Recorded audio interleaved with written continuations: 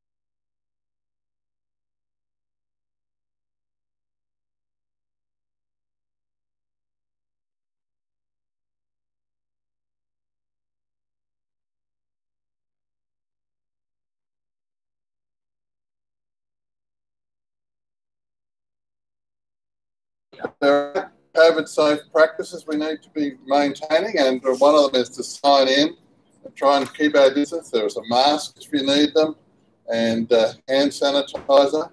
The hotels provide a drink, but you're very uh, comfortable to go and get a, a, drink. We're not generating any income at all at present, but Terry's seized the moment, and uh, we're going to come and uh, see if, if anyone's willing not that anyone's got cash anymore. We've almost all become paperless. But, uh, anyhow, see how you go, yeah. Is this thing working? Yeah. Yeah. Yeah. Okay. Um, we're going to come round in a minute with, with a with a bucket for two reasons. The book, and it's hot off the press. Now, you don't pay for the ticket. We just give you that. That's free of charge. We scheme you in other ways, but the, the ticket free. But the book is called With Your Latte by Charles Ringma. Thank you very much. Yeah. Big, thick theological stuff. This one is not that way inclined. In actual fact, it's very, very thin, as you can see. There's only a few lines on each page. Uh, you're going to chop down an awful lot of trees to get a decent read, let me tell you. Now, this is very, very unusual. Charles has taken the liberty. This is very, very unusual. Charles has taken the liberty giving a short, pithy statement of inspiration. Let, let, me give, let me give you an example. And on that, you write your own comments, your own reflections, a drawing, a picture, a doodle, whatever you want. So the idea is that you get inspired by the catalyst. So, so Matt's going to come round and give you a lucky ticket. Campbell, are you there? Yes, he's there. Campbell, have you got some tickets? Mac, hello. Wake and go.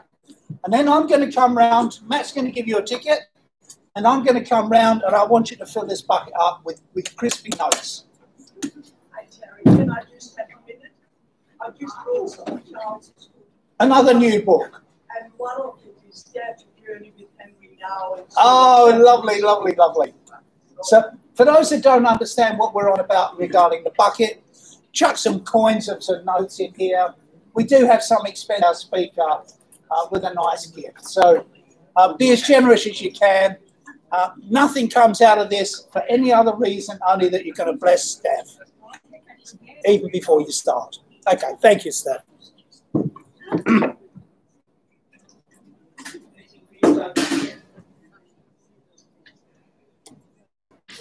Good afternoon. It's um, lovely to see so many beautiful faces here this afternoon.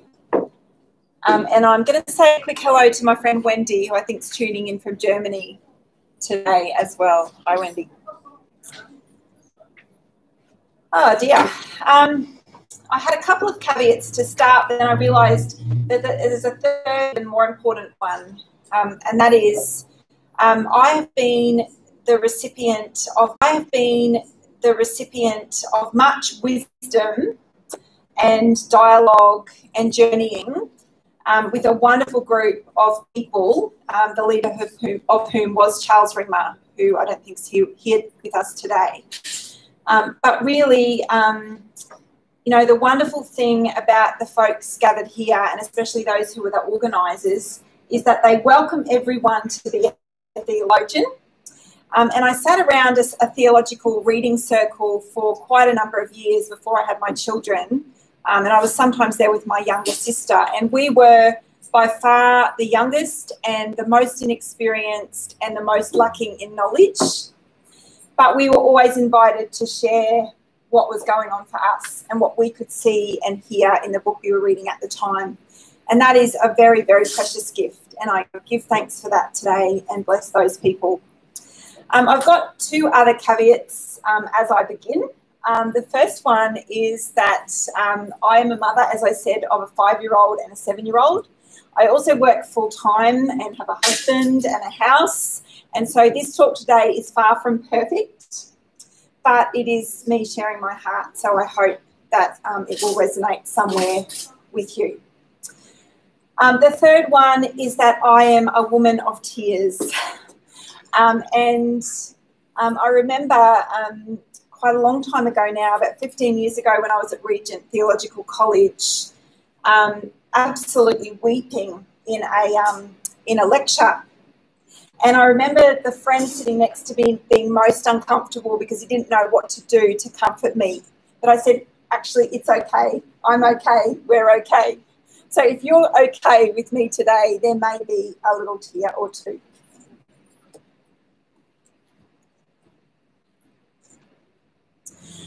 How often have you had the privilege of a spiritual friend? Or let me ask another question. How often have you spent time with someone who you felt as you shared that you were living the same reality, that you knew the same God, that your life resonated with the life of another?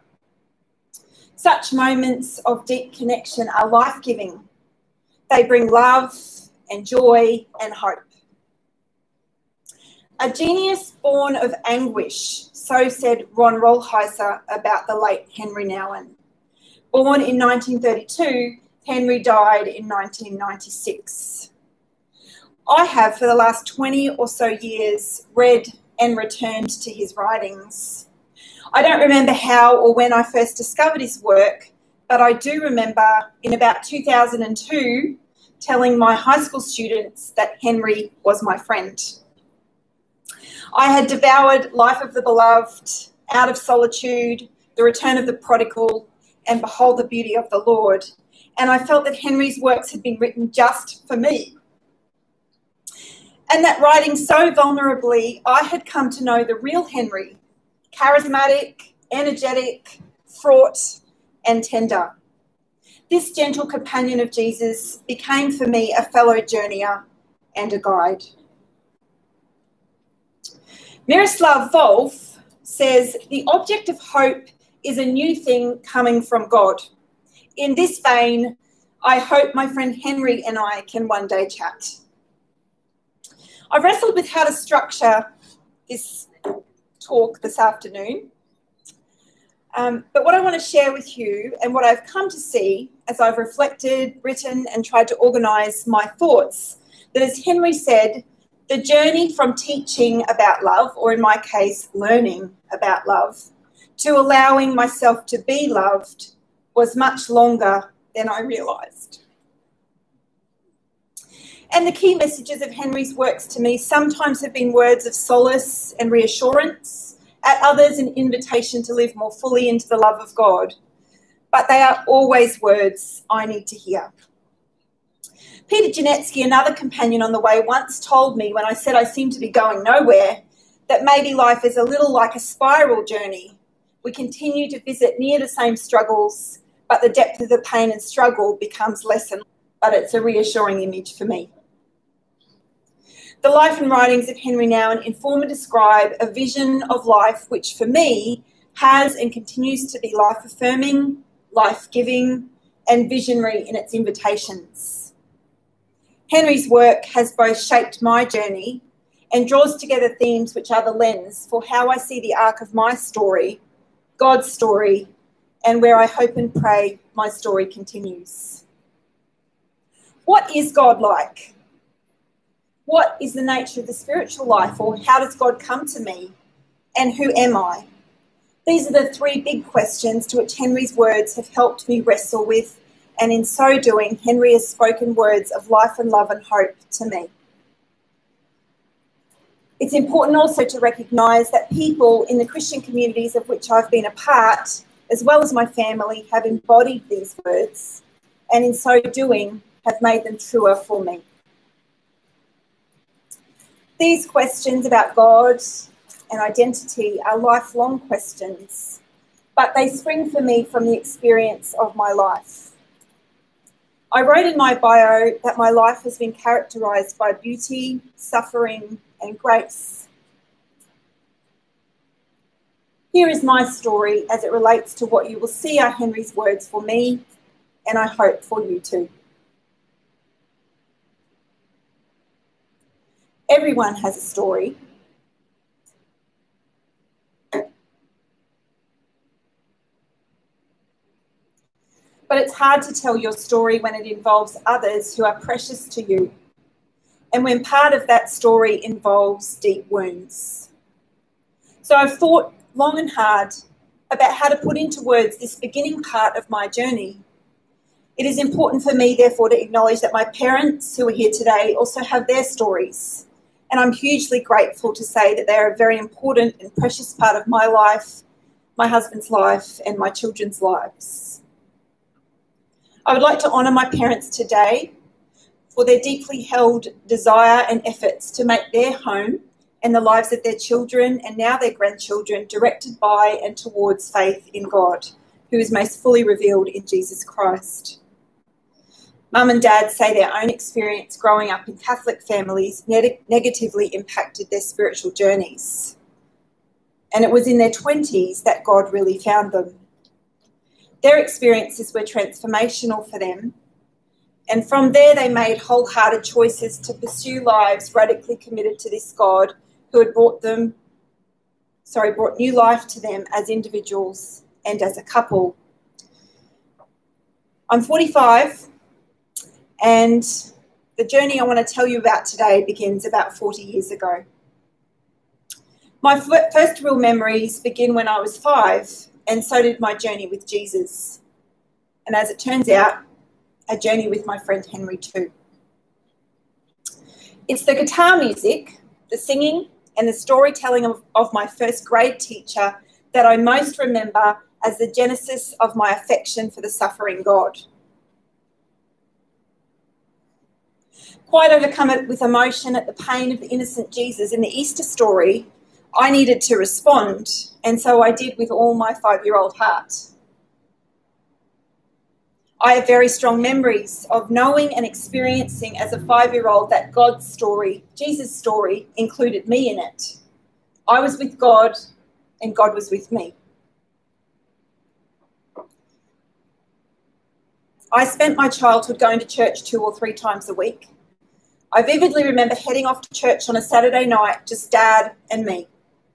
I was certain I was a child of God who could both hear and speak God's story and this confidence had been nurtured by my parents and by the Christian community we belonged to. A church birthed amidst the Pentecostal movement of the 70s, I confidently spoke out and sang publicly the words I believed God was giving me. I credit my strong scripture of knowledge today to my parents and the community and to the amount of time we spent reading, speaking, and listening to others speak about the Bible. It was certainly a very word based culture.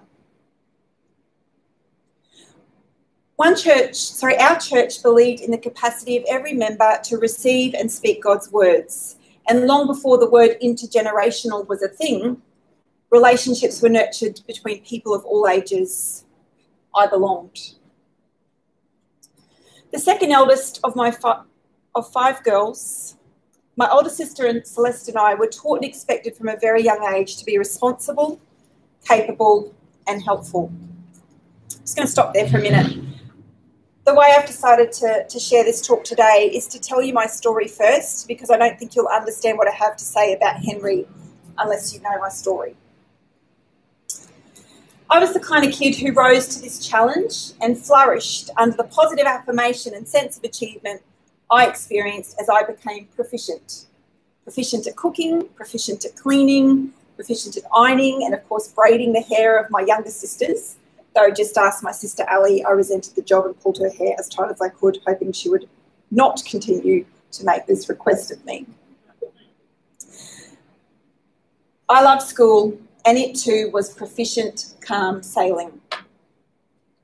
As I look back on the first decade of remembered life, I see Henri's early life where the calling, the assurance of belonging, and the wholehearted following was clearly evident. Henri said he knew he wanted to be a priest when he was six. It was a bit like that for me, too. I was from a young age planning to be a missionary. My year nine high school friend and I determined that we would go to India together. But rough seas were ahead.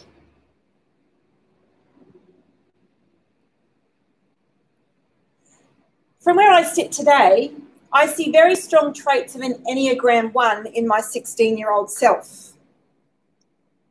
To quote a business website, Enneagram 1s, who are among the most value driven of the nine types, emphasize these three important values improvement, honesty, and responsibility. And this ones are conscientious and ethical, with a strong sense of right and wrong, always striving to improve things, but afraid of making a mistake. They try to maintain high standards, but they can slip into being critical and perfectionistic. They fear being corrupt or evil. They desire with all their hearts to be good, to have integrity. It makes total sense to me then that things began to unravel as they did. Naturally curious and attentive to truth and justice, I began to experience life at church as narrow and fixed in its understanding and expression of the Christian life. A typical teenager, I wanted to understand how things worked. I had questions, lots of them. Friendships at school became important to me, as had the quest to determine who loved me for me and where did I belong. Increasingly, church became a place where I felt misunderstood, judged, rejected. I understood the culture of the church to be, to be fixed, not open to changing perspectives and new information. I knew my thinking and expression of faith in Christ was changing. I started to hide my thoughts and questions because it always felt like there was no real dialogue or approval for holding a different opinion. I was always wrong. But as an Enneagram 1 who needs to be good and have integrity, pretending was anathema to me. I began to be deeply stressed, anxious,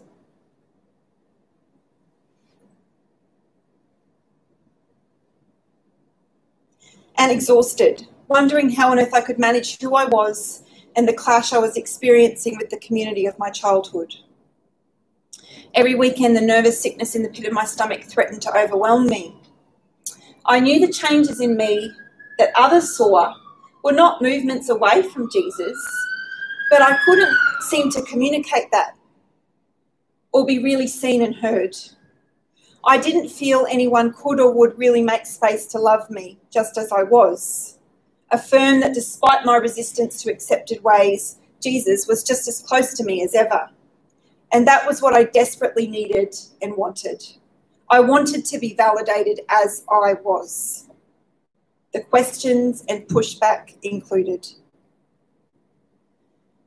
Two weeks before I turned 17, I left home.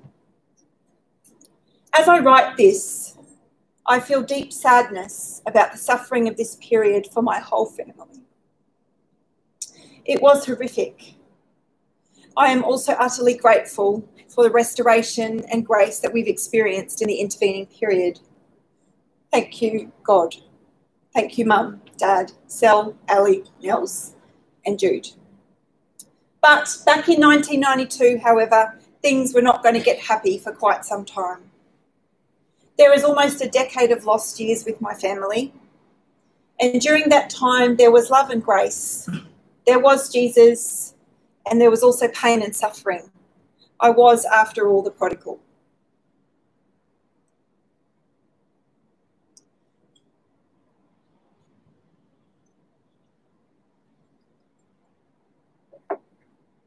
The family of a school friend took me in, and at the end of year 12 offered to send me to Christian Heritage College to study teaching. I had lost any sense of direction at this point, and so I agreed. I had loved school, and in particular English, so I found myself studying to become a teacher of English and geography.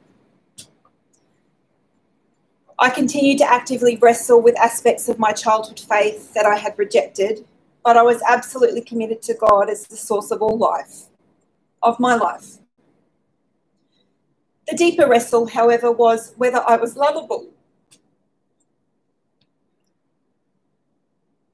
Did I belong?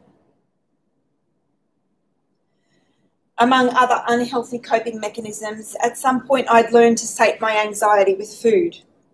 Adrift from family and now the safety of high school, I was struggling. I looked in the mirror to see a girl who was bloated with loneliness, rejection, and fear.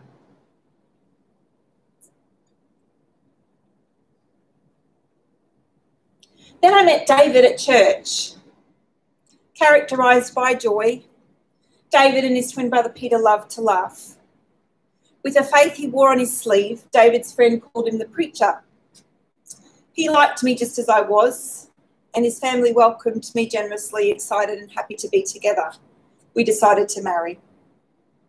What I haven't said is that David, his twin brother, and his older sister all had the genetic disorder cystic fibrosis. And at the time, the life expectancy was about 30. When we married, David worked full time and had been and had been reasonably well, but within a year, he was his hospital admissions had increased so significantly that he had to give up his job. It was hard going, but we were surviving. When I look back, 1998 was a significant year in this second decade of my life. We lived next door to David's parents and his sister. She suffered a lot with CF. One day she picked up a virus, and three weeks later, at 27, she was gone. I don't think knowing someone has a short life expectancy makes losing them any easier. It was excruciating for David's family. I'm not certain, but I think this was a turning point for David. At the time, I was just finishing off the last couple of subjects of my BA Ed. I had a teacher who just returned from Regent Theological College in Vancouver. I still remember vividly a discussion we had about our capacity or not for doing good. Were we Pelagian or Augustinian?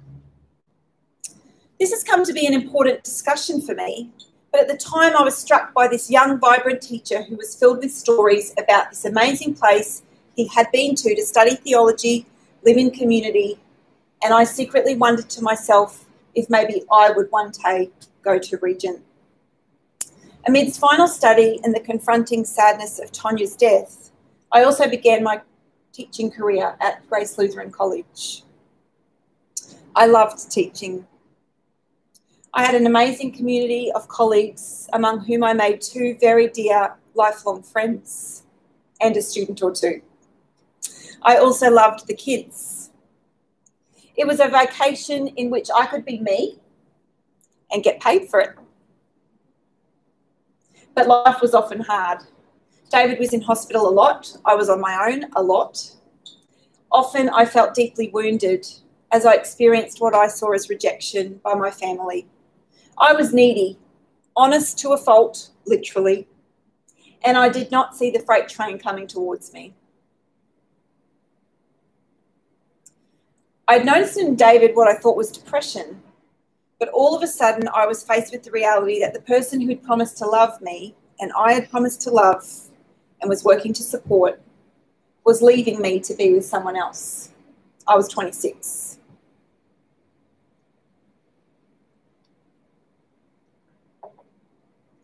I wrote poetry some years ago to describe how I felt to go through this abandonment, desperately trying to work things out and then wading through a process which ended in acceptance and divorce.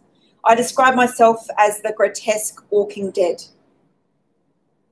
I felt like a complete failure, unloved,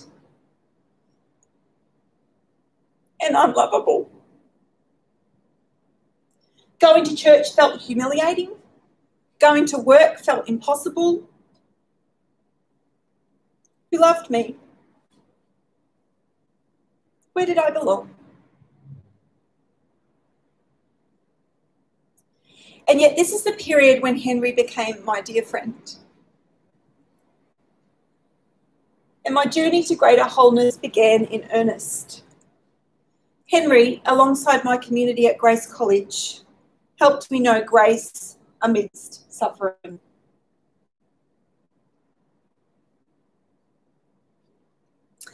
Then at the end of 2003, I suddenly knew I was going to Regent College. I applied and found myself heading to Vancouver. I spent two years studying, living in a community house, volunteering, and travelling. I felt at home there amongst people from all over the world who wanted to think about and talk about who God is, how we could live our short, precious lives, and what following Jesus looked like. Confronted by issues such as my own divorce and discovering that my dear friend was gay, I researched and wrote papers and poetry about poetry about how the church sees not just those issues, but the people like me and my friend who did not fit the image preached. Debate and dialogue was integral at Regent. Diverse denominations and perspectives were welcomed. I devoured the classics of Christian spirituality and I kept reading Henri.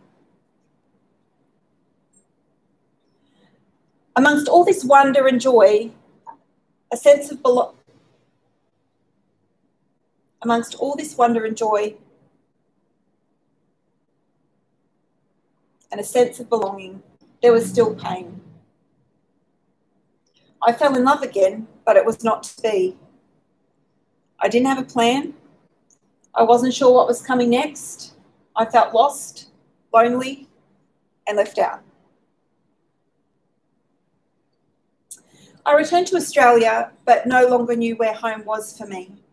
I took a contract in Melbourne, but things were unravelling. I found myself crying so much I couldn't do my job. I wondered what was wrong with me and why I couldn't pull myself together. I was a spring that had been pulled too, pulled too far and too hard. There was no spring left. I finally found myself at the doctor with a diagnosis of depression the pain of the preceding years had overcome me. But still, Henri journeyed with me. He himself was a wounded healer. I also experienced Christ's love from my mother, who helped me hobble to the end of my teaching contract.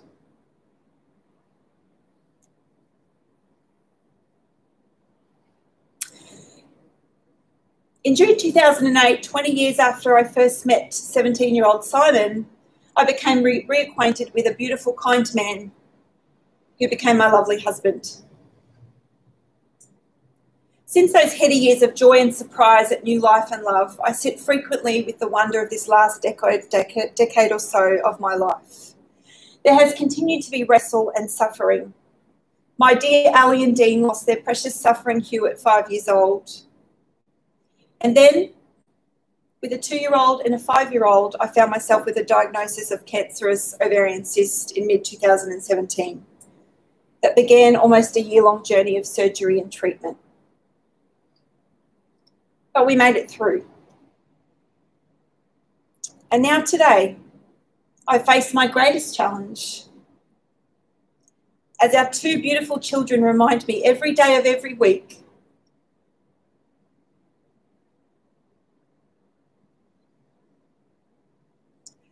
of the reality of my woundedness and the limitations of my love. And so now, just as always, I need Henri's reminders about how to live the Christian life, how to be, how to continue to be with God, or to be present to God's presence in my life and in the world. Amidst this life story, characterized for me by suffering, beauty, and grace, I have asked over and over again who is God? Where is God? And who am I? Do I belong?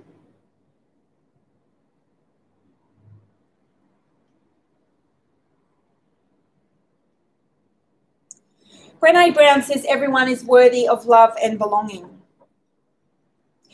Is the need for love and belonging the journey of every person? For me, it is. And Henri has helped me to keep finding my place, my place with the God we see in Jesus. So, what has Henri said to me about who God is and what God is like? Henri said, God loved us first. And it is in this wide open, welcoming cloak of God's first love that we live and move and have our being. Henri gets grace, and he experienced God's expansive love as the source in which we can participate. In turn, Henri preached this gospel, which I need to hear every day. I think Henri would agree with Natalia Marandiuc we are creatures of love. God loves us and gives us the unique difference of our existence. While God's love is universally given, it is also uniquely given to each one of us in our own particularity. God creates you and God creates me in a different way.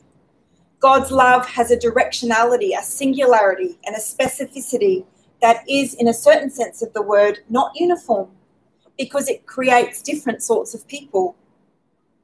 So when we love each other the right way, we participate in God's flows of love that already have a directionality into the human difference. Henri believed in a theology of the cross God in the little, the lost, and the lonely. Divine power revealed in the weakness of the cross. God is right there amidst my pain, my struggle, my suffering. He said, It is hard to believe that God would reveal his divine presence in the self emptying, humble way of the man of Nazareth. So much in me seeks power, influence, success, and popularity. But the way of Jesus is the way of hiddenness, powerlessness, and littleness. I am grateful for the new place that has been opened in me through all the inner pain. So says Henri, so say I. Henri said, God is father and mother. Using the knowledge and experience we have in this world, Henri uses these categories to speak tenderly about a God beyond our categories. This God is a God for all people. This God is a God for me.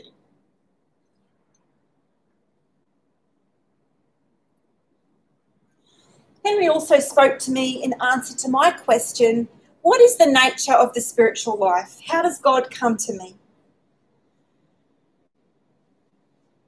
Jesus' life, death, and resurrection show us the heart of God.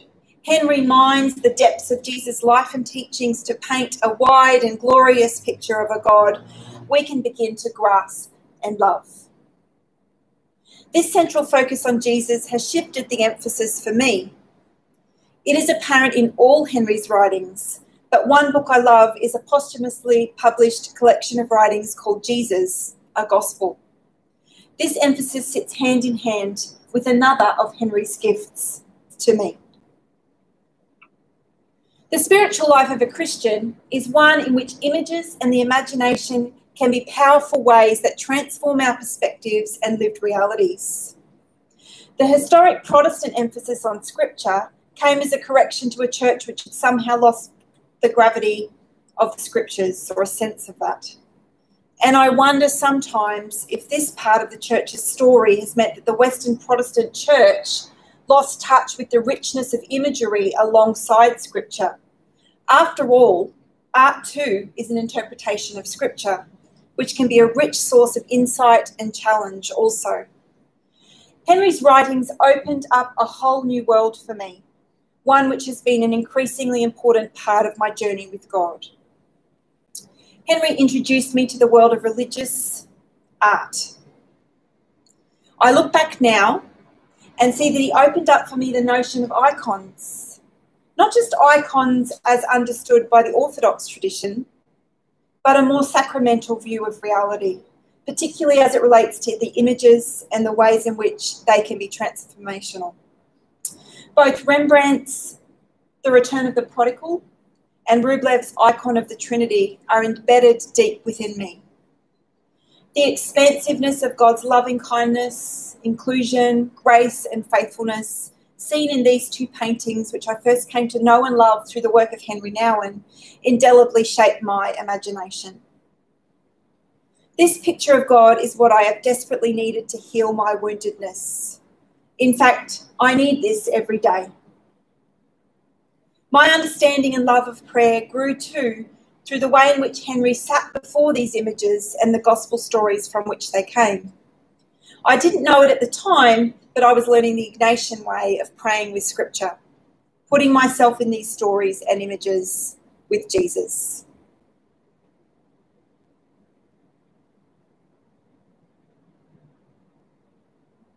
For Henri, the faith life is characterized by spacious hospitality. There is always space at God's table. And the fundamental call on my life is to make room for others, the other, for God and for myself. Henri preached this and lived this out both in the way he drew on the richness of Christian voices beyond his own tradition and the way he made room for people to come to the table wounded, broken, angry, resentful, and the list could go on. Because he showed himself to carry all these burdens. He said, Can the elder son in me be healed? Referring to the elder son of the prodigal.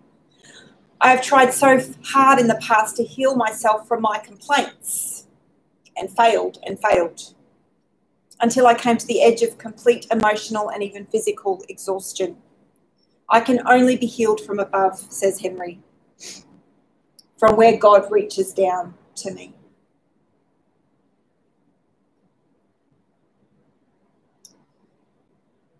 I agree with Henri that authentic spirituality wrestles with the now and the not yet, with the gap between cognitive assent and actual reality, between belief and trust.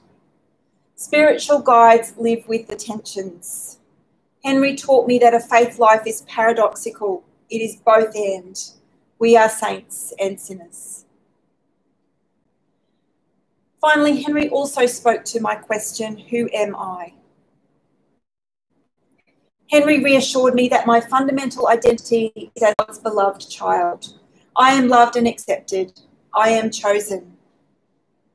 It can be a struggle to believe this amidst life's experiences of abandonment, self rejection, hurt, and pain. Henri said and lived over and over again that this fundamental identity has nothing to do with the identity as society perceives it based on producing and consuming, or in my case as an Enneagram 1, the high standards I set for myself. A Yale and Harvard professor before a full time community member of L'Arche, Henri had lived with the ultimate producers and consumers of our society, as well as with those who, because of mental and physical disabilities, could only simply be. Convincing Henri that he too was loved simply because he was. From his book, Life of the Beloved, I quote Becoming the beloved means letting the truth of our belovedness become enfleshed in everything we think, say, or do. It entails a long and painful process of appropriation. I concur. Henri also emphasised that as human beings, we are individuals who are also communal. In solitude, we face our demons, and even more powerfully, we can see and be seen by God. In community, we can and need to hear our blessings.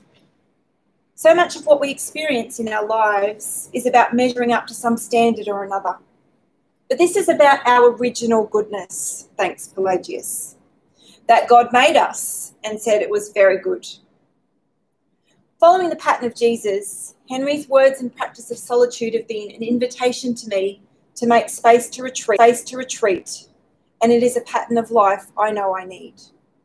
Henri said, the spiritual life as the active presence of God's spirit in the midst of a worry-filled existence, this life becomes a possibility when, by the disciplines of community and solitude, we slowly create some free inner space in our filled lives and so allow God's Spirit to become manifest in us.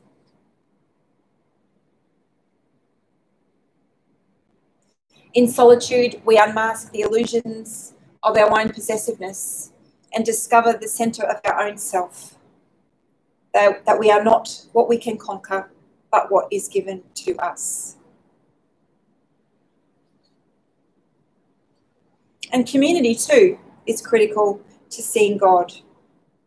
Henri said, A mosaic consists of thousands of little stones. Some are blue, some are green, some are yellow, some are gold. When we bring our faces close to the mosaic, we can admire the beauty of each stone. But as we step back from it, we can see that all these little stones reveal to us a beautiful picture, telling a story none of these stones can tell by itself. This is what our life in community is about. Each of us is a little stone, but together we reveal the face of God to the world. Nobody can say, I make God visible, but others who see us together can say, they make God visible. Community is where humility and glory touch. Henri spoke too about human sameness and the reality that only with our recognition that I too could hate and destroy do we have the capacity to love and care for each other.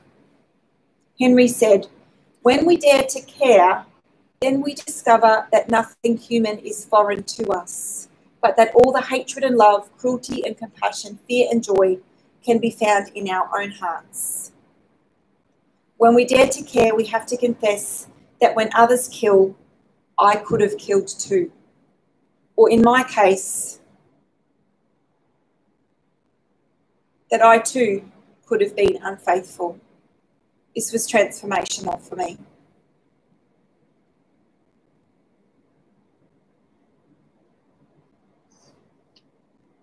Henri invited us in the story of the prodigal to see ourselves as both the younger son who had run away, the older son who had stayed but was nonetheless not present, and also the loving father.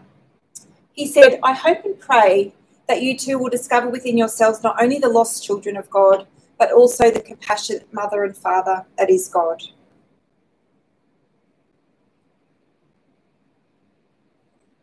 Henri's life and writings have been a key for me to finding God's shalom, a flourishing life.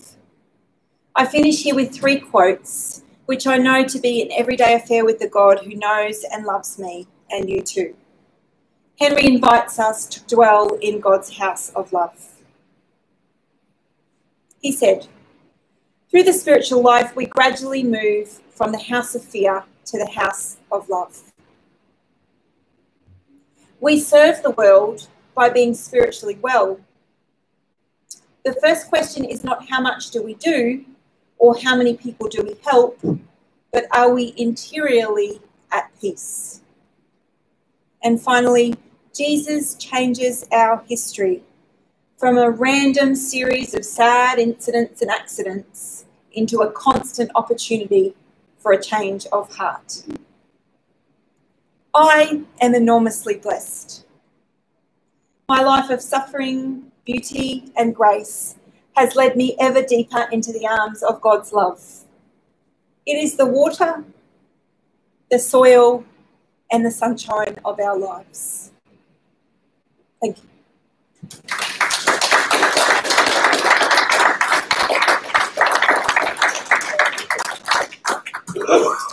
One um, final comment. Um, I posted on Instagram, um, which is Steph S-T-E-P-H-M-A-H-M-C if you're interested.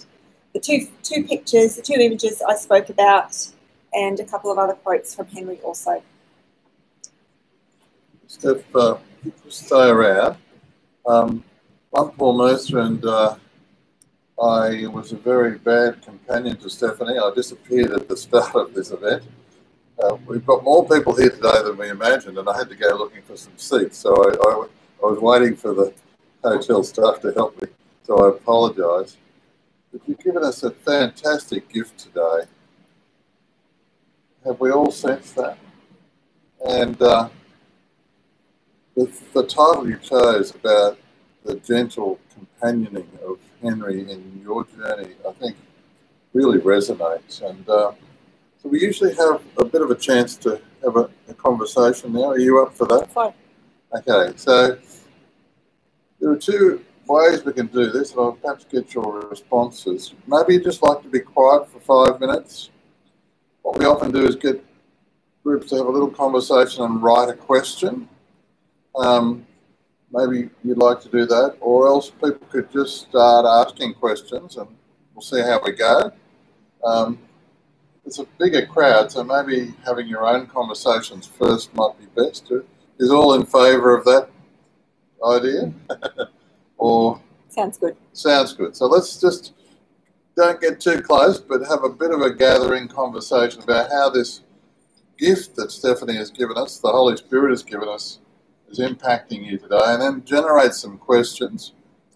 We had been handing around the books that showed those photos on the front, so you may have even looked at those photos, and uh, there, there are more books there, but just just let this sink with us for a few seconds, and uh, let Stephanie gather her breath, and uh, and we'll gather in a few minutes to talk about what your questions might be. Thanks very much. Well, thank you very, very much. Yeah, that's a, lot of. That's why. No, it's, it's, uh, No, that's, that's uh, well, I think I don't think we can stop. We'll just hold it for a sec. Delayed. There? Yeah. We can cut this out later.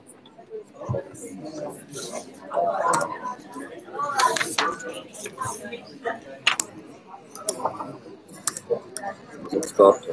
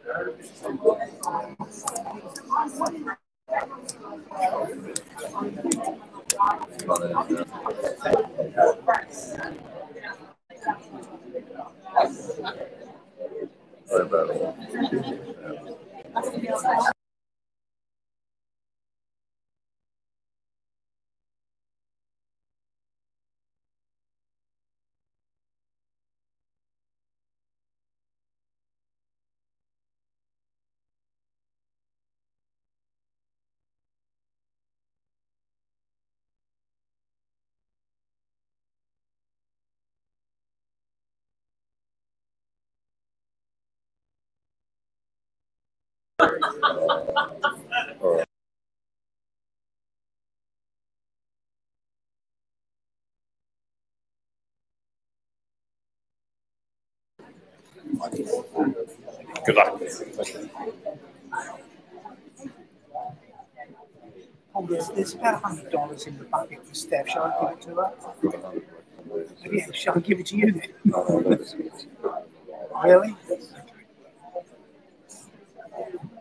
Really?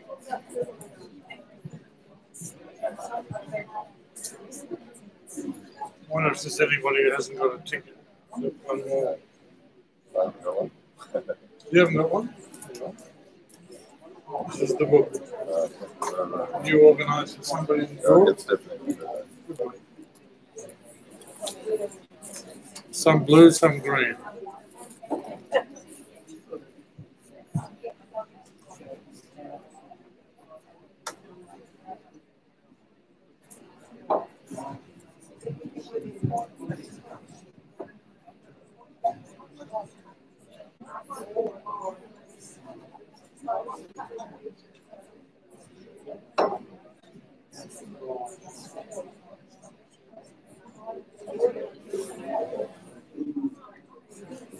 Doesn't seem to be any live chat questions. So, uh, um, yeah, leave it too long. Yeah,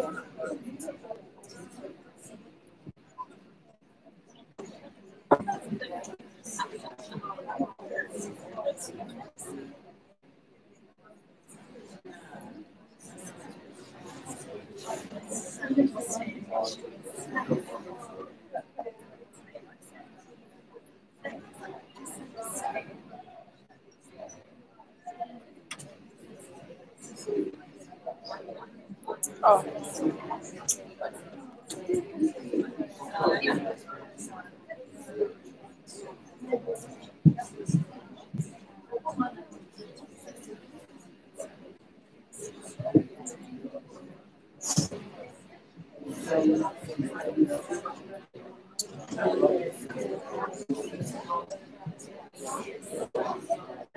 Last time people sort of carefully. Yeah, good. It's all right. Simon's bringing me a wine.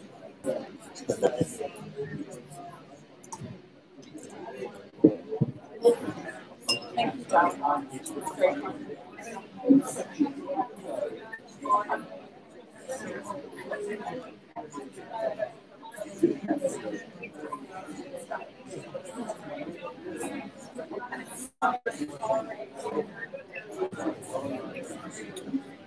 Thank you.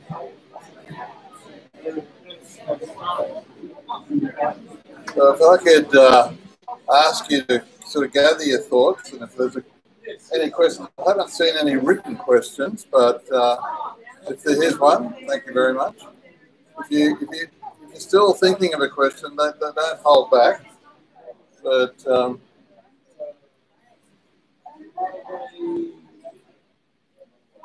so um, I'd, I'd, I'd invite you to keep thinking and writing.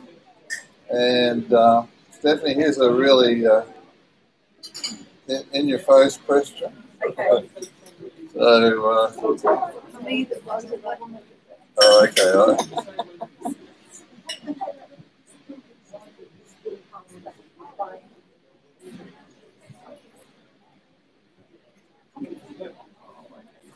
That's the So this question, uh, this question, if I can just draw our attention, um, ask, the, ask this. You mentioned being divorced and Henri being gay, and how neither were acceptable in the church. Can you say some more of how you have made the, this journey of coming to be acceptable?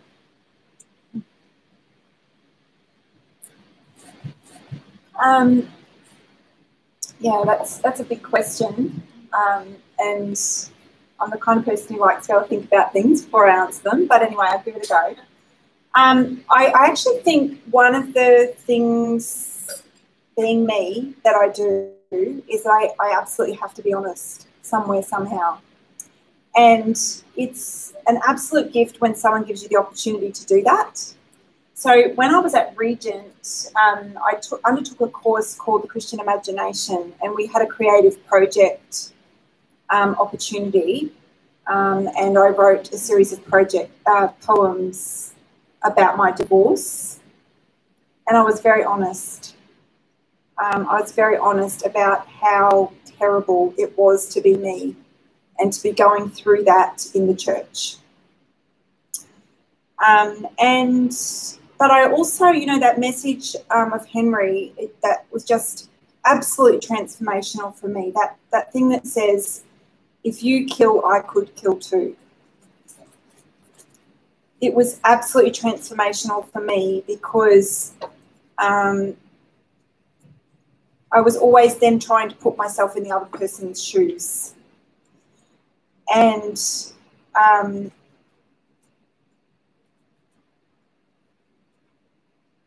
so part of the one of the poems that I wrote was a responsorial psalm, um, and it was an opportunity, an invitation for people to confess with me about the way we treat one another.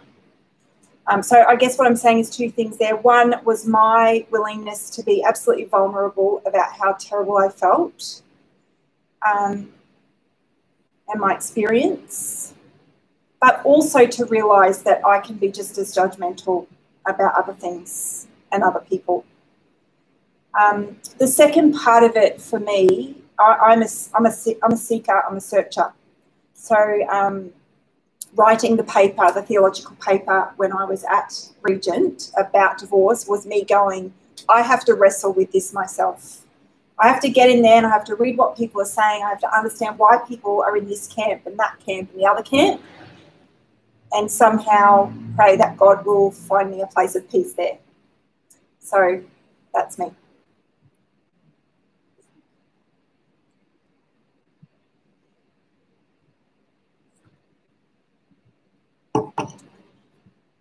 So some other questions?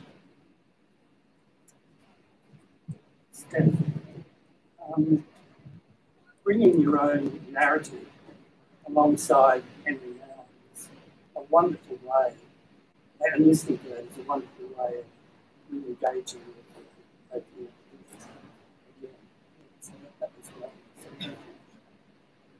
I was just wondering um, how important in that relationship has been Henri's um, willingness to reveal his own willingness. Oh, that, that's that's utterly. Yeah, I can repeat it. So, how important has Henri's willingness to re- reveal his own woundedness, how important has that been to the journey? I think that's really the crux of it, to be honest. Um, because Henri is talking about um, sit, like sitting, you know, in God's gaze and experiencing God's love on the one hand, and then on the other hand, he's saying, "I don't belong. Who am I? You know, I feel terrible." He holds those two things together, and for me, that is what it is. That's the human condition. Um, that we we hold these things together, and that um, we we anticipate that God is growing His love in us, but we we carry those wounds with us forever.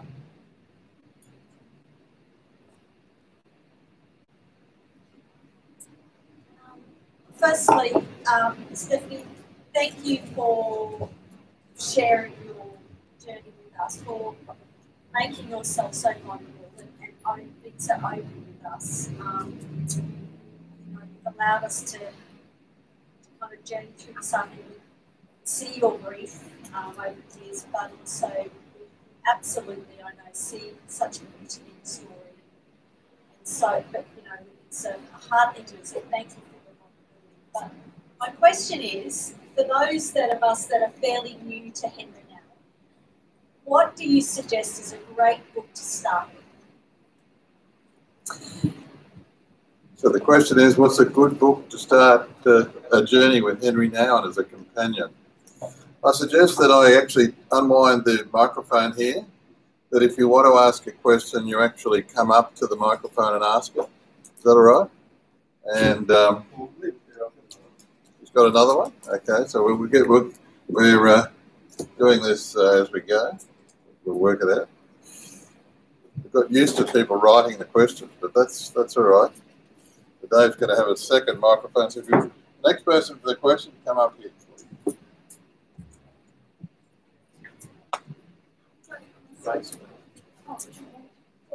I would actually really recommend this little collection. It's it's on a it's like um, it's sort of like a collection of about four devotions. It's very, very short, but it really captures some of the heart of what Henri is about. And there's some really um, pithy, pithy stuff in there. I absolutely love this book. Um, yeah. Um, it's called Out of Solitude. Out of Solitude, three meditations on the Christian life. Um, Adele, you mentioned the Return of the Prodigal. This is a this is an absolute classic. Like, if you haven't read that, you should read it. Um, it is just so so rich. Um, Henri sat with. I I've wanted to go to St Petersburg ever since I read this book. I don't know if I'll ever get there, but maybe. I think Simon does have some Russian heritage, so you never know. um, but yeah, um, he sat um, in the Hermitage and with that painting for hours and hours. He researched for hours and hours um, Rembrandt's story um, of writing the, the uh, sorry drawing or painting the um, the Return of the Prodigal. Um, he also did a huge amount of research into why the painting is as it is. So if you have a look at it, the elder brother is in the photo with the younger son. And we know from the story that that's actually not the case. So why did he do that? There's, it's just, it's just so, so rich, so rich. His, his um, discussion of um, who God is inviting us to be, who God is, um, and just, you know, for me, I think a huge part of it, um, I don't think I can emphasize enough that what Henri's brought to me is a way of being spiritual, um, a way of praying, and that's what comes through strongly, certainly in this book. Um, I think if you wanted to read more about the idea of um, who we are uh, um, as people, as, in, as human beings, um, Life of the Beloved um, is also a classic. It was written to his friend in New York who was Jewish and not Christian, and Henry wanted to tell him about what it meant to be a follower of Jesus. So he tried to write for a secular audience. I don't think he did a very good job of that, but he certainly did a good job of for me. Um, and I spoke about this one. Uh, look, Henri has got, um, I don't know, 50 more publications and a lot published posthumously. Um, but I also love this because it's a collection, short devotions, and lots of Rembrandt paintings. Um, that's a good, good example, but um, yeah. And one other book that I don't actually have with me that I also love is Adam. Um, and that's the story of um, the man with whom Henri left, lived um, in the L'Arche community and who Henri um, cared for. And that too is also a transformational book. So there's a question here first, sorry. Okay, I was, I was, I'm going to start with a comment. Um, I really loved hearing your personal story because it made the whole message feel so much more embodied. So thank you for that. It was amazing. Thank you. Um, um, the, the bit that like kind of nearly moved me to tears was um, when you mentioned like Jesus has a place at the table for everyone, even the most outcasted person. Like that just, you know, really gets me. Um, I was wondering you kind of said after that, I think that the your life, like something about the other and being in solidarity with people who are the other. I was just kind of wondering, like, if you could tell us more literally, like, where that manifests in your everyday life. Um, I live a pretty suburban life these days, actually. Um, I live in Redcliffe um, in a house with two children, you know, pretty pretty suburban. Um, our neighbours are pretty white and pretty middle class. Um, however, I am absolutely privileged to work in education. Um, so one of the things that happened for me when I was in Vancouver was that um, I volunteered um, with the Mennonite Central Committee.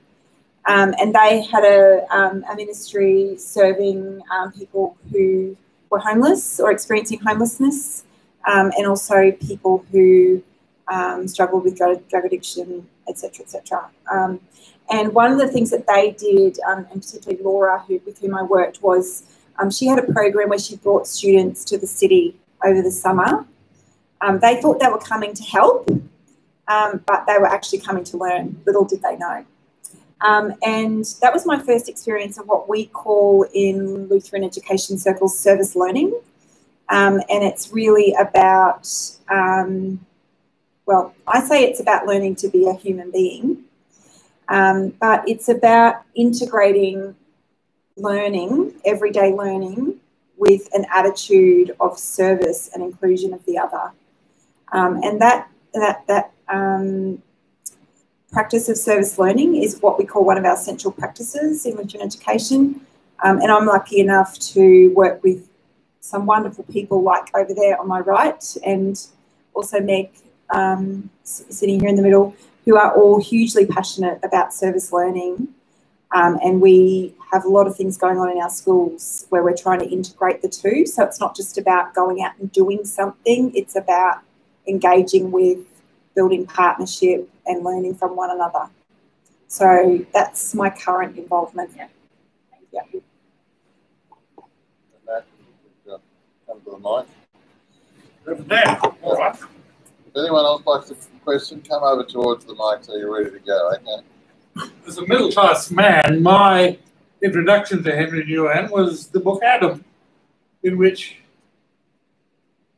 I discovered that he could create a love experience for somebody who could not communicate, someone who was deeply intellectually impaired. And I thought, how do you create existential love? So my question to you, Stephanie, Stephanie is about creating existential love. You're a teacher of teachers. And it's one thing to teach that God loves you and for people to learn that God loves you intellectually, but there were hundreds of lepers in Israel, and only one was healed. So, in a time when God isn't speaking very loudly, how can you communicate or how can you enable somebody to feel the love of God with reference to Henri? Well, Mac, as you know, You are much more, um, what's the word? Having the, the, the right experience and the words to answer your own question. However, I'll give it a go. Um, I actually want to go back to service learning, and one of the concepts that we try to teach our young people is about presence. And Henri talks a lot about that, about presence. And you know what? I experienced it in my own life. I'm I'm an introvert, and I'm exhausted when I come home from work, and I'm not really interested in talking. But I really want to just sit next to my husband and be with there was actually a beautiful podcast I listened to during um, earlier in the year. Um, there's a podcast out of Yale with uh, Miroslav Volf, who's a theologian I love. Um, and it was a discussion with John Hare, um, an ethicist, um, about what is it, what is it to be a human being. And they went on to talk about being with, and that our God is Emmanuel, God with us and that part of the huge suffering of COVID is actually that we can't be with physically with one another. Um, and so I don't have anything wise to say, but that's that for me is is love.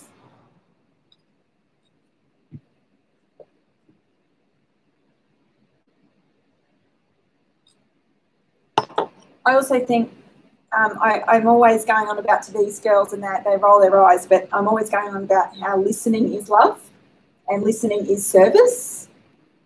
And that's one of the, that's a, um, that's a quote from um, M. Scott Peck um, from The Road Less Travelled. But um, once again, I've, I've never worked with people who have mental handicaps but I think there is a way to listen to each other without using words too. And I hope I can learn that.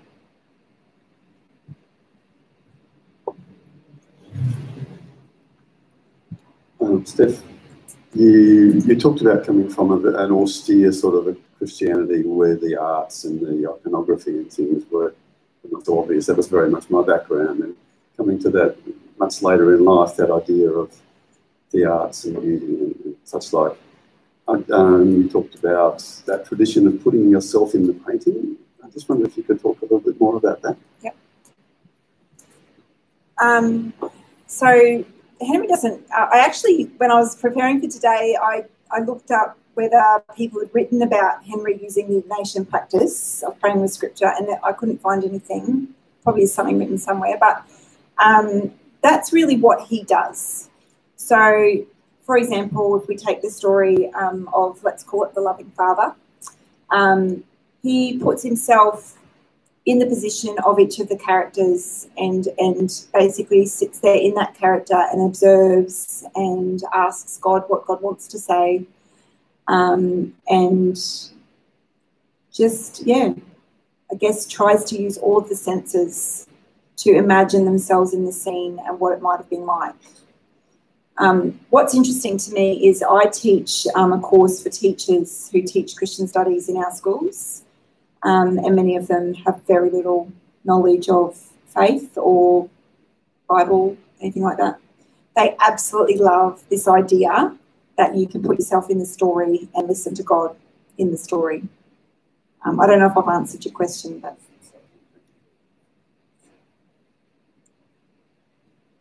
You can just look up Ignatian praying with scripture and you'll find stuff.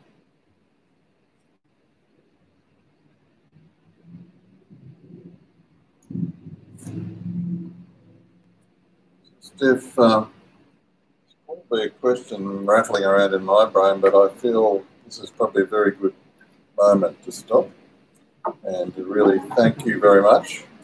I, I won't uh, sort of indulge myself, as it were. We want to thank you very, very, very much. So here's a little thank you note from us, Theology on Tap.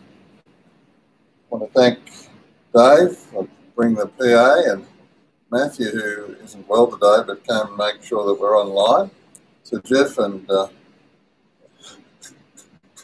come in late, but uh, you can actually still watch what Steph has said. So we go live. We, we haven't got the music back into this situation yet because we're still exploring what the COVID world means. So we're starting a little bit earlier for those who who perhaps were a bit uncertain about this. Um, but uh, we, we, we, we're saving uh, the talks and they, they're on YouTube and at some point they'll be taken down, but uh, there's a YouTube channel now for Theology on Tap. You can go back and look at your own talk and, uh, and, and learn from yourself. I think that would be unwise. um, so, look, uh, thank you everybody for coming. The hotel is open for meals uh, and you can stay and uh, in a, an appropriate uh, manner have a meal here at the hotel now. Um, our next event actually will involve Steph. So Steph, Steph's, Steph's doubling up. She's really going for it now. She's joined Theology on Tap and she's going to come on twice. But we've, we've imagined the possibility of having a forum to think through the implications of COVID for the church going forward. So we, we, we've entitled our next month's activity Singing the Lord's Song in a Strange Land Invitations for a Post COVID Church. And uh, we've got a number of participants who are going to share um, briefly some, some sort of startup thoughts about that. And uh, this will be an event where you'll be invited through uh, uh, Eventbrite to join a Zoom link. And uh, you can then, uh, on the live chat part of the Zoom, ask questions. And so once the people who are on the panel, and there's uh, Scott Guide, who's um, involved in the Toowong Uniting Church here in Brisbane, there's Stephanie, there's Dave Benson, who's been a presenter here at Theology on Tap and is now in London, so he's joining us live from London. uh, we've got Johannes Lutz, who's been part of uh, program before and who is at Heritage College here in Brisbane. We've got Amelia Coe Butler, who's um, very active in uh, exploring church in an interfaith context in Sydney, and so she's joining us from Sydney. And we've got Maddie Lee, who's a student at Malyon College, who's, who's sort of looking at this as a younger person as well. So um, I think those people will, will help us start a conversation, which we're inviting everybody to participate in. David Bush, who uh, again has been to a, one or two of our events and who has previously worked for the ABC, is going to moderate the forum. And uh, we're hoping that we'll be able to get the technology working pretty well for us on that on that e evening. It'll be Sunday, the first of November. So we'll start that event around about 4.15. So everybody, 4, 4.15, once we've gathered, everybody's got online and we've settled. We're hoping here to see if we can make the Zoom stream, stream through the camera so you can see it on the wall. So you could still come here and then you could waltz up to the computer. It'll be, have a Zoom link and you can ask, still ask your question. So there might be 40 of us here we will all just perhaps use use that computer, or you could bring your phone if you've got a Zoom link and ask questions directly wherever you are. So we're asking everybody to take that leap into the technological future and participate in a, a live Zoom event that gathers Christians around Brisbane to think through a post-COVID future. Does, does that seem like a good, good way to go in 2020? It's been a very strange year very unusual year, and uh, we've done, you know, it's been a blessing to actually keep going. And uh, thanks for those of us who've supported us at this time. Okay, so at present, we actually haven't got a Zoom link registered, and so we were discussing whether we needed a Zoom platform that took 100 or 400, and I haven't been able to find a 400 platform, so we're going to have to stick with the 100. So come here, come here, and you can still use one link. Um, but uh, the, the, there's a thing called an Eventbrite, I think yeah. it's called, and so there'll be an Eventbrite invitation that goes with with uh, with uh, advertising. You go to our Facebook page, um, register through Eventbrite. We sort of want to have a little bit of a demographic. What tradition are you from? Lutheran, Pentecostal, Baptist? Just to have a bit of a feel for the group that we've got on the day and um, um, and uh, then you'll have the link. And I don't know whether anyone's been to a Zoom meeting where there's been Zoom bombed, but that's not a very pleasant experience. But we'll have a a moderator who'll be able to knock out anyone who comes in to try and just make a mess of it all. And uh, I've had an experience where someone was just swearing, a woman swearing terribly and writing stickers and terrible words on the screen and so forth. So hoping to avoid that, but we're hoping that it'll be a good thing. So Steph, you've got here, you've got a job to do. You've got to actually draw okay. draw a, a, number out I'll of the do the job if you let me say one more thing. Okay. I was just going to say this is the teacher coming out of me. So there was some research done recently um, out of um, Europe about how when we draw, um, out of um, Europe about how when we draw, this is the teacher coming out of me. So there was some research done recently um, out of um, Europe about how when we draw, up, rather than write words, that it's it's five more five times more likely to stay in our memories. So if you buy one of these Charles books, which looks pretty awesome, can I recommend to you that you use those pages to draw your thoughts. Wow. Here we are. Drum Even roll. if you're not good at drawing, which I'm not. Drum roll. Okay. Da-na-na-na-na-na-na. Oh, you can write too, I know. That I, I didn't really understand it when we first wrote it, but there is there is a a word. Sorry, there are there are some sayings and some words so you can sit down and think about it. You can have a and then you can do some drawing, but you can also journal. So to sit with it. So that's why it's called because people haven't got time these days often to read a big book. So they're reading a quick one, but just to have their own journaling or just just with a cup of coffee. So it's very easy. Uh, I think they're 15 dollars. There's some available today. Sounds cool. Hi, Lisa. Okay, have you got green E58? Green E58. Ah, Chris. Let me just check that. Check it. It's E58. Oh, yeah. There's You got it. Chris. And, and just finally, um, uh, Charles is um, no stranger to us, Charles Ringma. Is no stranger to the writings of Henri Nouwen, and he has written two books, and they are absolutely delightful. And uh, they're, they're for sale over there if anybody's interested. Uh, grab them while you can. They're cheap. Thank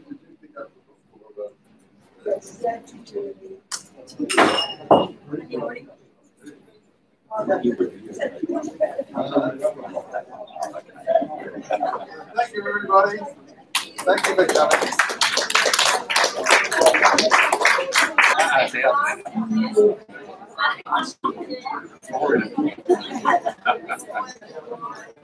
coming.